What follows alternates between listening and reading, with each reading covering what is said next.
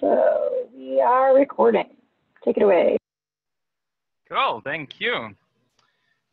Hello, everybody. Thanks for joining. Um, yeah, today or in the next hour, I want to talk about not so much about technology, not so much about hosting or Drupal or things I usually talk about. I want to talk about ourselves, like how we work, or specifically how I work. Um, as you will see later, I've been quite active, I've been quite busy, and especially in environments where there's a lot of work. And people always ask me, like, how do you do this? Like, how do you work that much? And I would actually not say I really have worked that much, but I guess I've worked just very efficiently. And so um, I decided to make a session about this. Um, and it's really also to start a discussion about these type of uh, topics, because I really think while it's great that we talk about code and sharing and technology and design and project management, I think we should also talk a bit more about ourselves being humans. And um, yeah, so that's a little bit my contribution to this topic. Uh, yeah, my name is Michael Schmidt, um, or people also know me as Schnitzel um, in the interwebs. And yeah, so about myself, I'm originally from Switzerland.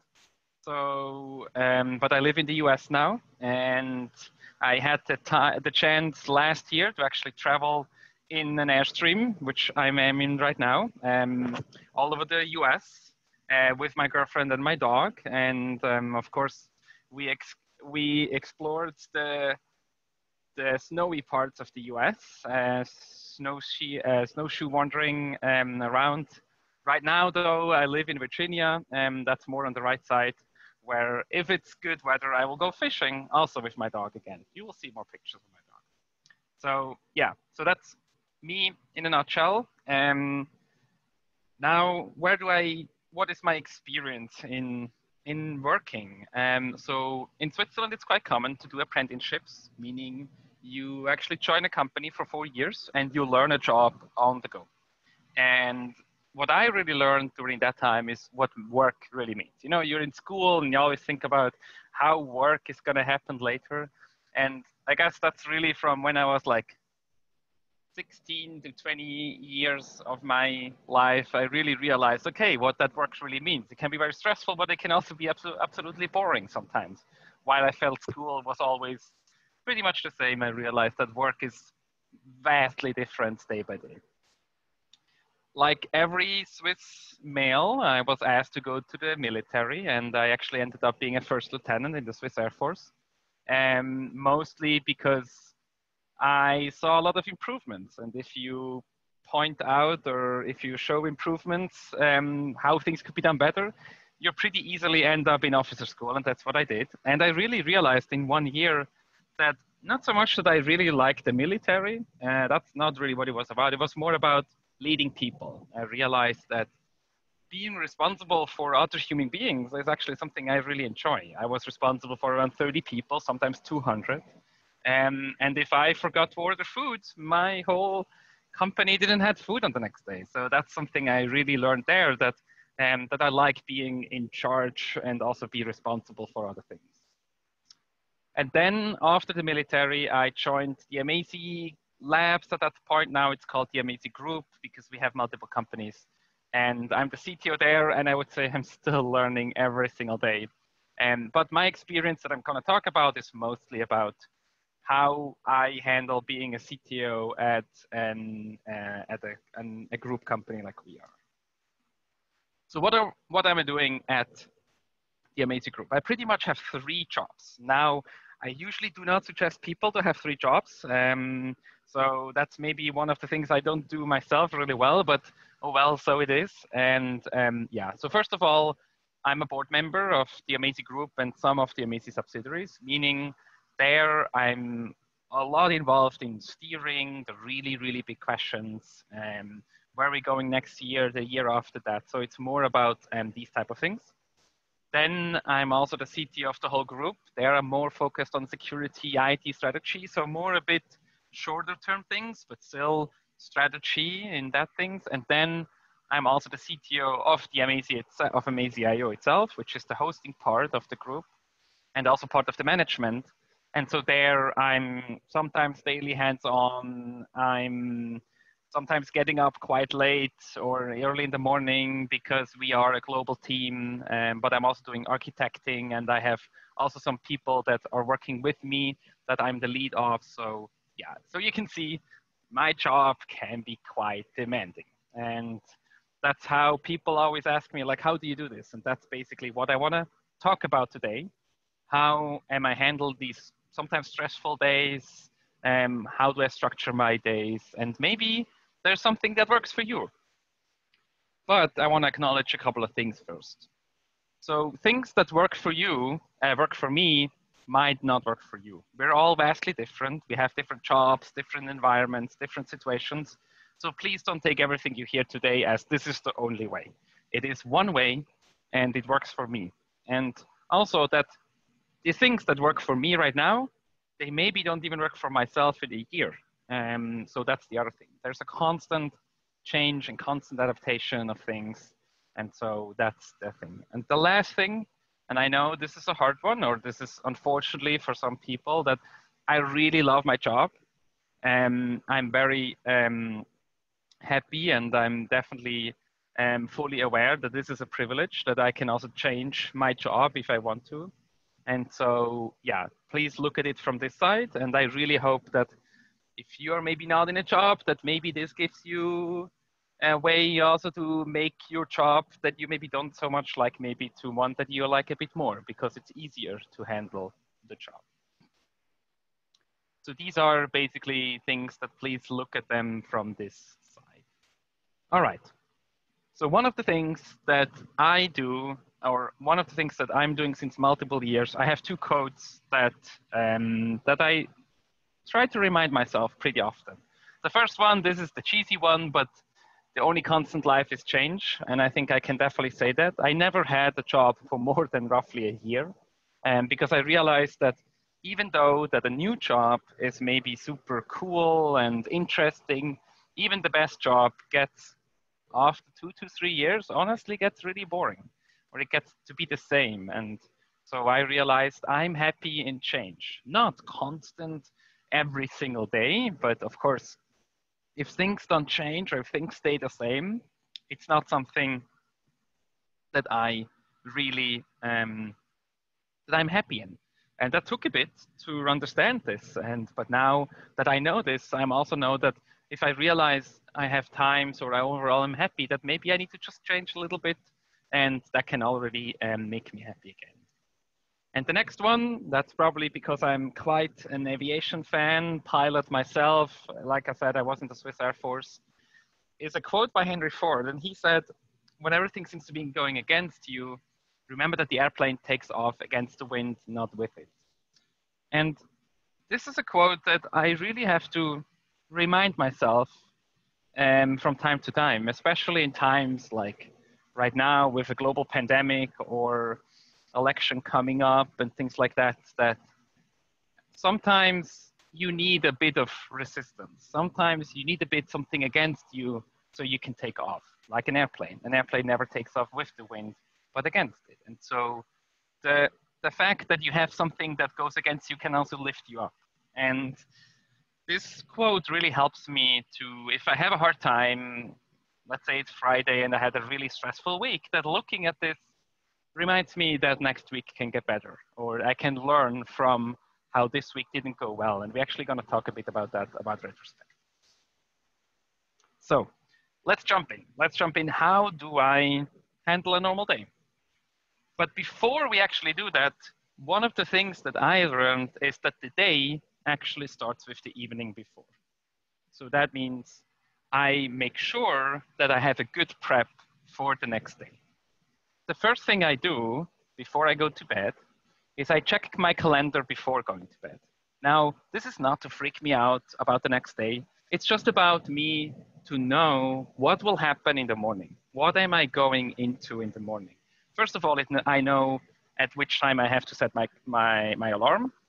I try to get up every single day at the same time, but sometimes I have meetings quite early, so then I, I make sure that I don't forget anything. But also it gives me less stress in the morning because I already know which meetings of the next day will be probably more a bit anxiety fueled or which time are going to be fun, things like that. So that really helps me um, getting into the next day prepared.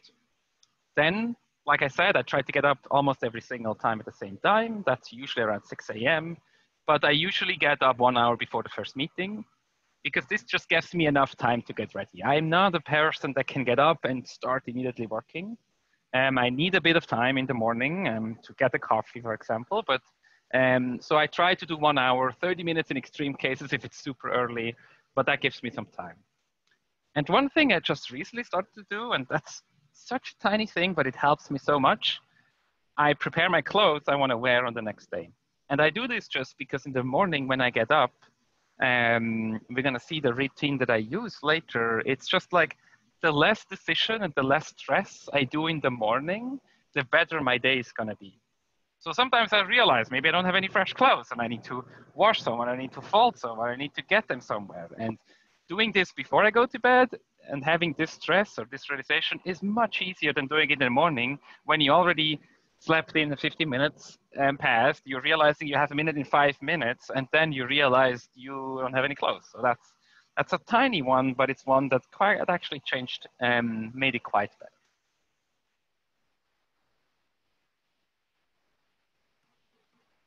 All right, let's talk about sleep. And actually more about falling asleep, because one thing I realized that falling asleep can be quite hard, especially if you are in a stressful environment, you're having thousands of thoughts going to your mind, and your brain just cannot let go and fall asleep. A lot of times, if I cannot fall asleep, it's more it's just because my brain is too busy. And so I found two practices that I do that help me fall asleep pretty much within a couple of minutes. And so the first thing I do is I do controlled breathing. Uh, it's uh, it's called the 478 method. There's other ways that are very similar. If you do meditation, that's also very similar. But basically what I try to do first is while I lie in bed, I try to feel my own pulse. Now, this is something that I didn't realize at the beginning, but you can actually just, without touching like any of the points of where you can feel your pulse, but just with lying in bed, you can actually feel your own pulse of your heart and your body. So I'm trying to find my pulse, and this already takes a bit. And then I breathe in through my nose for four pulses of my own pulse. Then for seven pulses, I hold my breath. This is quite hard. And then for eight pulses, I breathe out through my mouth. And I repeat that two or three times, maybe four or five times. And there's two things that happen. First of all, it really focuses me to focus on myself, on my body. And it also feels a little bit like suffocating. It sounds weird, but um, this is how at least it feels for me. I've talked to pe some people, they said it doesn't feel like for them, but at least that's it for me. But I can immediately feel how my whole body starts to relax. So if I start, let's say, with a pulse of 100 um, beats per minute, after a couple of times of these, I can clearly feel how my pulse automatically goes down. So this helps me to calm down, to relax, and to just let go a little bit. Now, some people fall asleep while doing this. This never worked for me. It's way too much concentration on breathing and counting, but at least it helps me to relax. So the next thing I do to actually fall asleep, I count down from 100. And now this also maybe sounds weird, and I also didn't believe this at the beginning, but this really, really works. And fun fact is, I do this now since more than five years, and I never reached zero in my life. The lower, the lowest number I can remember was maybe six. I'm not 100% sure because usually I fall asleep, but I think I had six. This was a bit scary because I worried what happens if you end up zero. I'm talking with this quite often. I met some people that said, oh, I reached zero. I just continue to minus one, minus two. There's an unlimited amount of numbers coming up, so don't worry if you reach zero. But what I believe this is, or why this works, is that the fact that we are really good in counting up, and we don't really do a lot of counting down. So it gives our brain a little bit of things to focus on, but not too much. So it distracts our brain just enough from thinking about the next big thing or the ne- whatever is um, is creating the thoughts in your brain that you cannot fall asleep. Um, but it forces myself or my brain to focus on one thing that is easy to focus on. And actually, sometimes I count down, and suddenly I found myself counting up again and thinking about something else.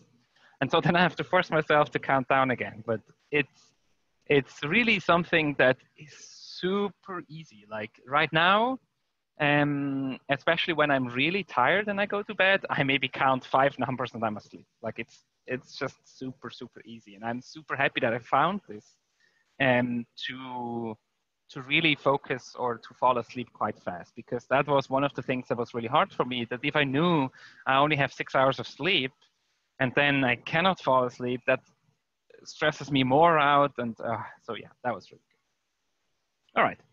So then finally we are asleep. And now what am i doing to actually not come out of sleep? Because that's another thing that can happen. So what i do is i put my phone on silent. Shouldn't be surprising, but I'm also turning off all notifications.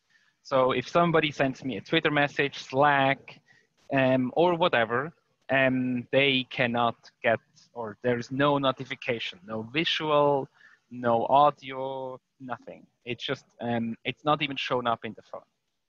What I tell my team, and like I said, we have a global 24 hour company with servers and customers all over the world. So there are cases where I need it. Um, and we use PagerDuty. So I tell people PagerDuty, the phone numbers of PagerDuty are whitelisted on my phone, um, meaning they can always come through. And so they can always send me a PagerDuty uh, message and they can get through me at any time of the day. You can reach me if you need me. And my team knows that no matter what, I will be there and I will help them. The same also the case for my family. My family actually lives mostly still in Switzerland which is um, which means that they are in another time zone. And of course, if they need to reach me for any reason, they can also call me. And then I try to sleep usually six hours minimum. Uh, less doesn't really work. I can do maybe a day per week. I can do five, but that's at least for me is very hard. I realize that the next day, if I do it for too much, too too many times a night or a week, sorry, then this it gets really hard. So usually I get seven, um, and then on weekends I do give myself an hour more, maybe two. But one thing I really realized is also that if I try to sleep like on the weekend much more than during the week, this really throws off my schedule. So even though I maybe could sleep for 10 or 12 hours if I want to, it's really something I'm trying to not do because my inner body, the repetitiveness that really helps me staying focused, um, is get thrown completely off with this. So I usually try to sleep the same amount than during the week, and that makes it much easier for me. All right, we're sleeping, it's morning. Let's look at a normal day. And now let's actually look at a normal day um, of myself. So I get up, and my wake up routine, I try to do every day the same. So the first thing is I snooze my alarm. I cannot, when the alarm goes off, get up immediately. It's not something, so usually I snooze it once or twice. And then when I feel more ready, I read some light Twitter. And I know it's a bit of a hard time right now. So I do have a couple of Twitter lists of more like tech news or friends and things like that so that I'm not already freaked out by what's going on in the world. But that helps me to wake up a bit, get my brain going. Um, but that's super, super important, at least for me. I do not read any Slack or any emails. And the reason for that is that a lot of times I see something that happened last night, or a customer is angry and sent me an email. If I read this at that time, my day is already gone. Like it's already thrown out. It's already like I'm so much stress or so much hyped up already that because I cannot finish my routine, it's gonna be very hard to ever get back to a normal day. So I, that's why I also disable all the notifications. So I don't even see any emails um, on my uh, notification screen. or So. Then I get up, I shower.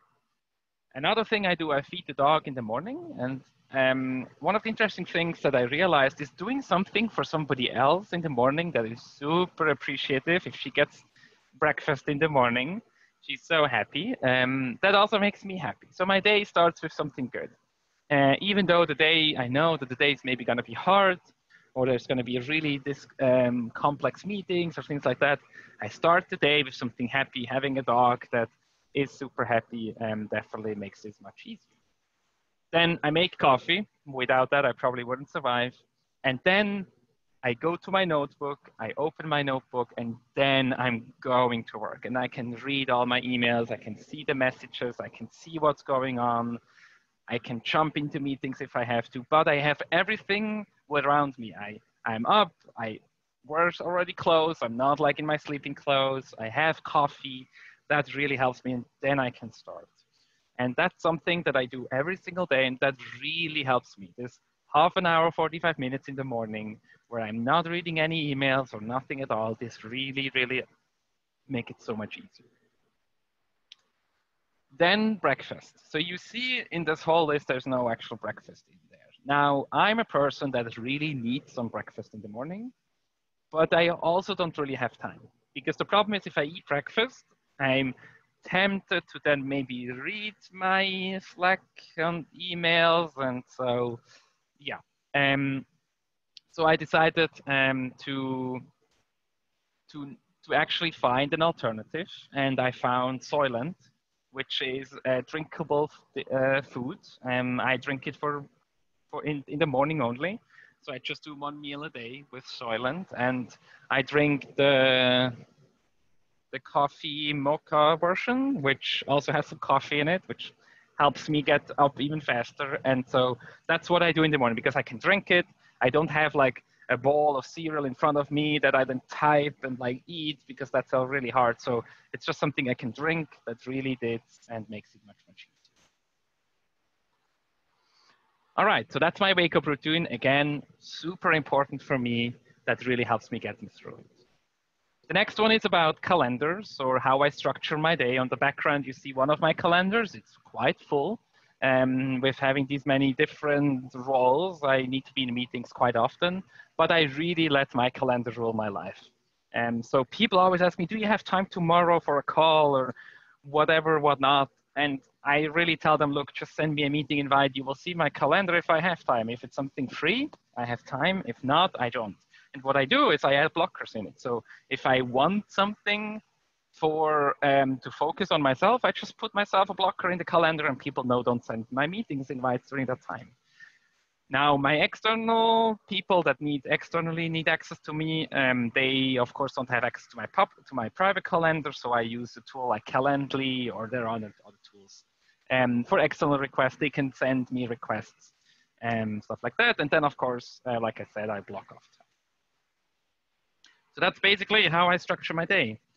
During the day myself, I try to have five minute breaks between meetings. And what I do, I give myself short rewards. So it's really about little treats, little things that I like to do that brings me shortly away from the computer or just like lets my head um, walk around or do something like that. That can be like watch a short YouTube video. I have a couple of channels of like tech stuff that like three, four minutes, perfect. Um, to see people, I don't know, picking locks or things like that. Just silly stuff, but just that shortly gets me out of the thinking.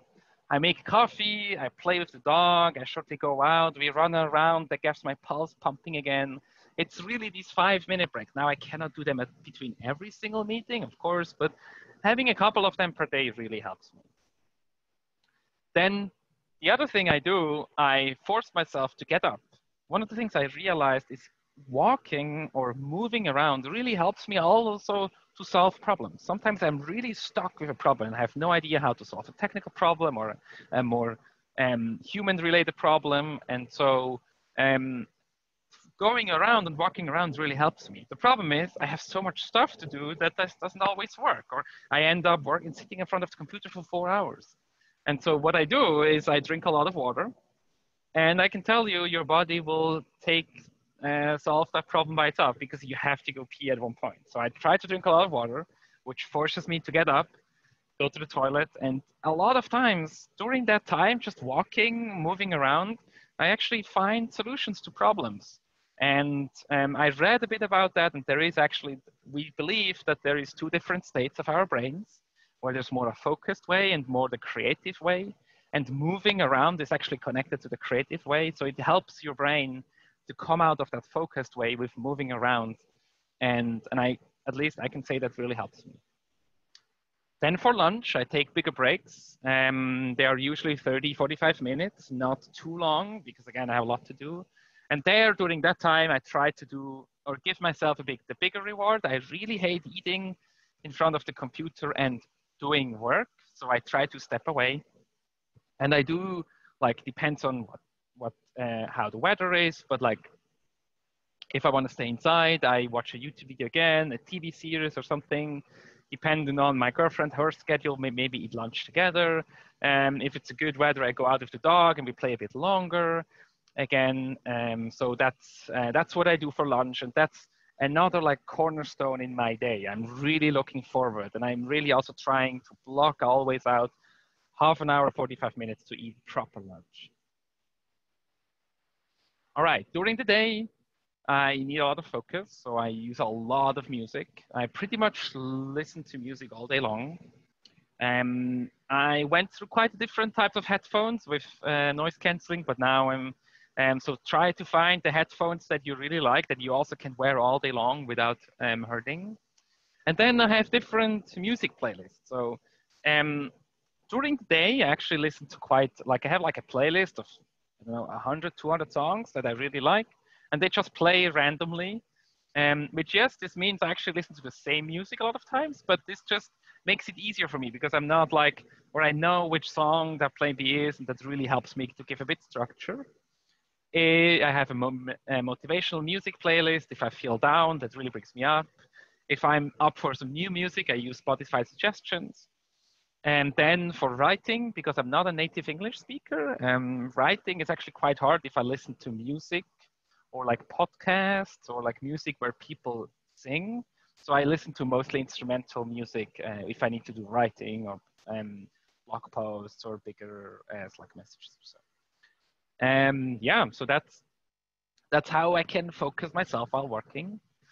Another thing that I really need to focus is that um, as we're all working from home and mostly environments where other people walk in and out, um, uh, me and my girlfriend actually figured out the way how to tell each other to that we are busy because I look the same in front of the computer if I'm coding, if I watch a YouTube video, or if I'm in a board meeting. It probably looks pretty much the same. So what we have is these uh, small flags. They're called Luxafor, but there are also other companies that do similar things. And they're just on our screens, and they light up in different colors. Now, if we are, it's red, meaning I'm in a meeting, please do not, um, please do not um, intru interrupt me. And so um, if you want to reach me, text me, send me a text message.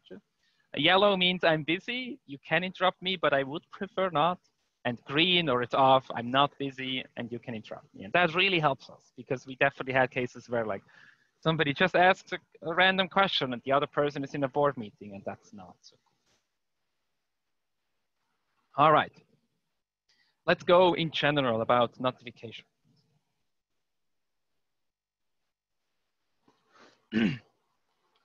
so emails. Um, the first thing I realized a couple of years ago that I don't really need notifications for emails. So nowhere, if you send me an email, I don't get any audio, I don't get any message on my computer, I don't get any notifications on my watch because I realized nothing really has been that important in email that couldn't wait for, let's say, an hour or two. My people, my employees know if they need something urgently from me, Slack me. If I don't respond in Slack, send me a page duty. Um, that's the only way that you can reach me if you really need me. Um, what I do is I check emails in between meetings. Um, I always go from the bottom up. So I look at the last unread one and I mark each one um, as read when I have read them. If I have time, I try to follow up them right away or not. I use the snooze function of like Google Mail um, to remind me again because a lot of times if an email is read, I will probably never really look at it again unless I'm searching for it. So I'm really trying to either respond immediately or snooze it so it comes back on top of the feed. Then another important thing, I strictly separate private from company email. Yes, these unified inboxes are cool, but they don't make my life really much easier. So during the day, I mostly look at my company email. Then in the evening, I look at my private email um, to separate these two things um, as much as possible.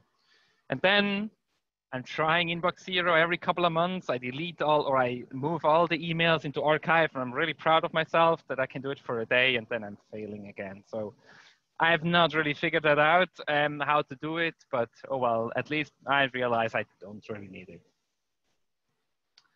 Slack itself, um, I'm really strict in notifications with Slack. Um, so I use them um, mostly, most channels I only have on mention only. So if somebody mentions me, I get notified. Only a few of them, I get notifications for everything. And that's maybe five or six of them that I really want to know.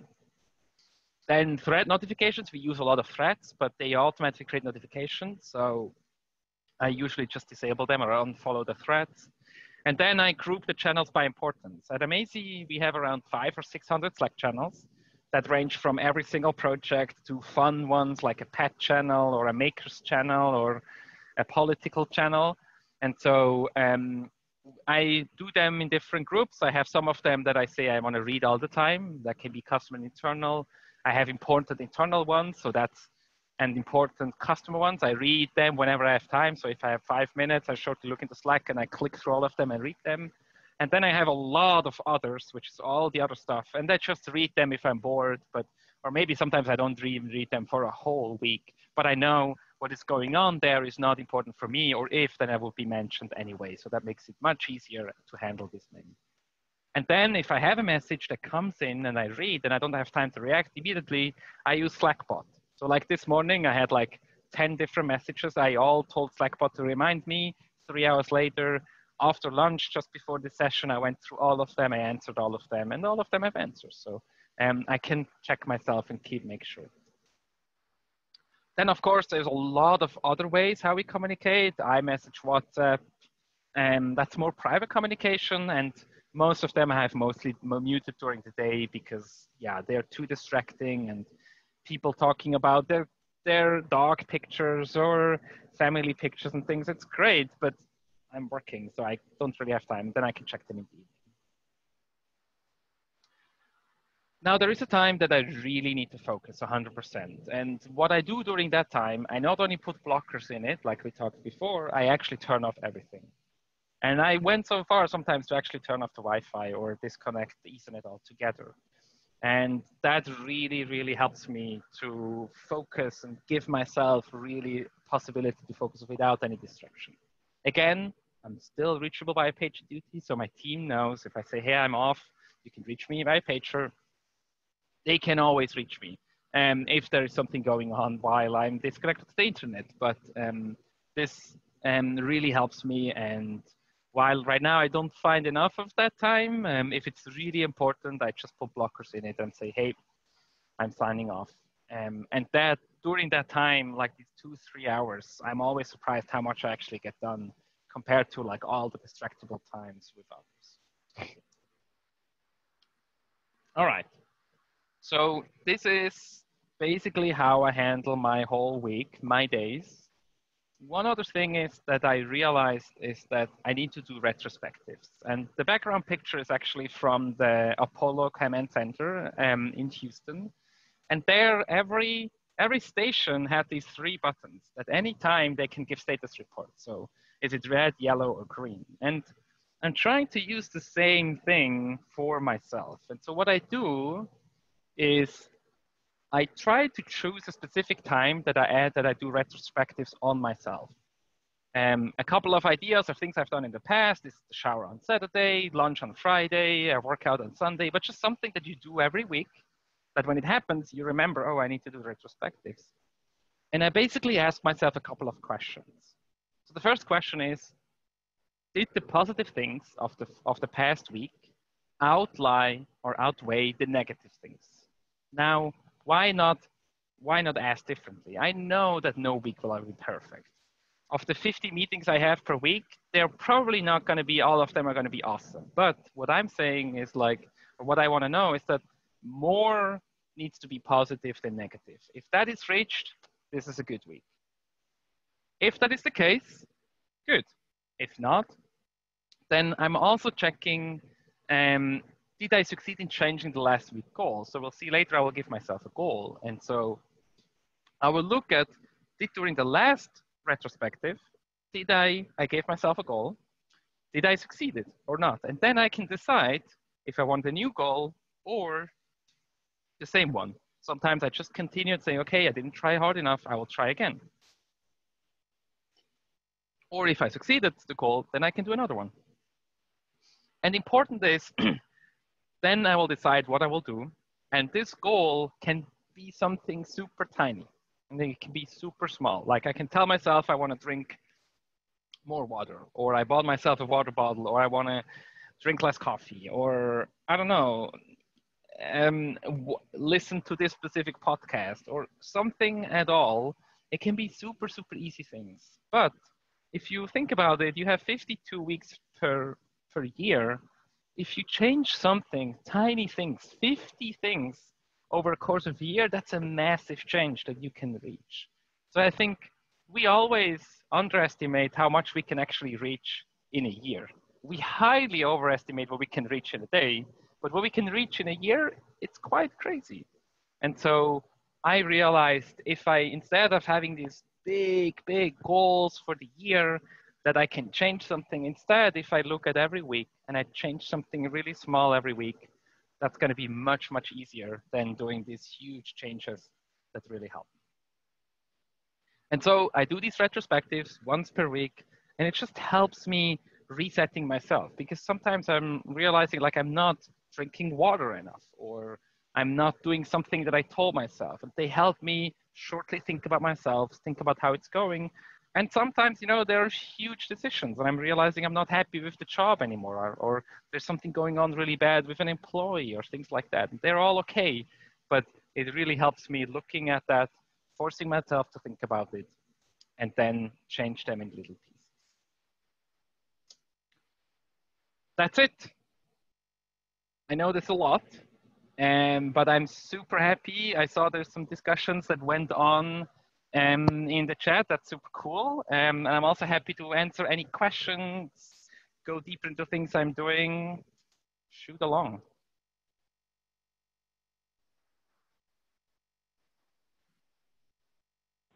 Thank you. Um, yeah, your dog is adorable. Um, I haven't seen any questions. We've been taught we were talking about sleep stuff. Um, and Cheryl shared um, that she has a feed that she does on Facebook where she reports memes and she gets like one comment a week saying, thank you for doing this is the only thing. Uh, let's see. The slides, oh, you just post them again, yep. Um, yep. Did I already ask you if you put your slides on the session page yet? I did not, um, but I will do that. Okay, cool. And, and since there are links, the... you can put them in the body field. Yes, oh, yes, Instagram. I will do. Cool. And then there's, if you want to follow my dog, there's an Instagram of hers. Actually, her Instagram awesome. is better than mine, so yeah. That's usually the case. Uh, so Stephen has a question. Uh, yes. What do you think would be the best thing so there was a lot recommended. What do you think would the best be the best thing to start for someone who wants to make a change? That's a great question. That's a good point. Yes. So for me, how I started really thinking about this, I let me think. I would say it's the drinking more water actually.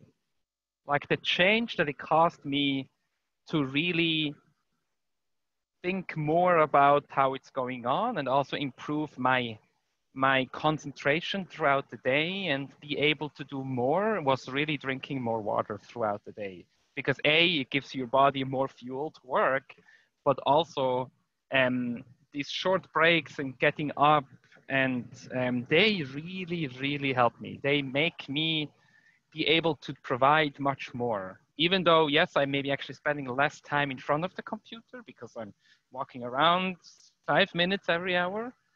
Um, but I think that's really the piece that all started. it. And then the second one, if you have problem falling asleep, I think the the changing of falling asleep or the the, the sleep um, breathing um, methodology that really helped me. And then the third one, I would think about the morning routine. For me, at least, the mornings are so important about the whole day. So um, yeah, I would try to find a routine that you can follow every single day. Uh, and the last thing is preparing my clothes in the evening. I have just started this a couple of months ago, and I'm like, why have I not done this way, way earlier in my life? Because that was really a big change. But a super question. Yeah, I would I would say that when I've tried, and I know it's not my session, but whatever, I'm saying it anyway. Um, Go ahead. That it's just yeah, you think about what's what's like you said for you, like it's what you think is most possible. Because one of the great things is that if you can if you can have a success, it makes it easier to do the next thing. So Yep. like it might seem like, oh, this is the easy one, I'm cop it's a cop out. It's not. It's like do something that you set yourself up for success, right? And then you're more likely to do the next thing. Um, don't don't pick the thing that's going to be the hardest for you, um, in my opinion. Uh, Karen added, I'd also add that spending time outdoors or just having a view of nature is great for short breaks. It's a nice point. Yeah, Yeah, and it's actually one Mhm. thing I learned once is that looking into green is really good for our eyes. So having the possibility to look outside or looking into the distance, because our eyes, because we sit in front of the computers, we always look the same distance, and that's quite bad.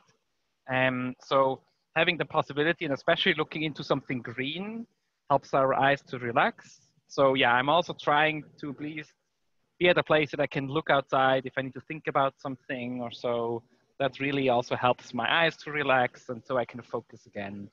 Uh, yeah, that's a good addition. Very interesting. Yeah.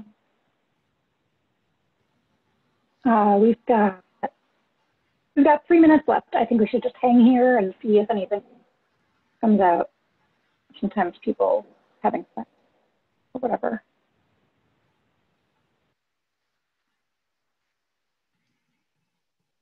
what kind of dog? Um, let me move it over here. So she is a Swiss mountain dog. Um, as a Swiss person, I had to have a dog from Switzerland, of course. Um, she's quite like a big dog, so she's like 110 pounds. It's quite, it's like having a child. She quite clever, but um, yeah, it's it's a lot of fun, and it definitely changed.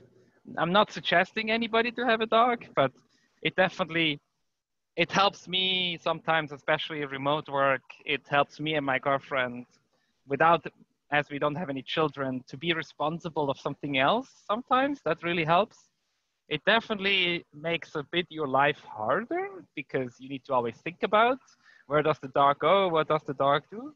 But um, i think overall it's it definitely enriched our lives a lot. And um, another thing i can also suggest is if you're not sure just foster a dog from a shelter. It's a non-commitment so you can just have a dog for a couple of weeks and decide if you maybe want one or not. So yes yeah allison that's the question usually like did the dog go out or not So- Always. My whole life was, would revolved around that. Yeah. When when we had a dog. Um, do you uh I've always wondered about Swiss mountain dog versus has the dog pooped when was the last time I pooped? Yep, Stephen. Well put. Um Bernese mountain dog versus Swiss mountain dog. Do you know enough about them to tell me the differences? Yes, yeah, a lot. so there is actually, uh, let me see if I find the image. There is a really good image of all four of them. Um, yeah.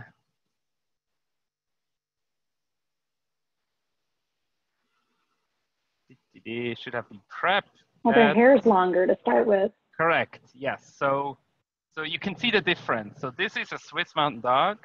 They have the shorter hair, and then you have the Bernese Mountain Dog. They have the longer hair.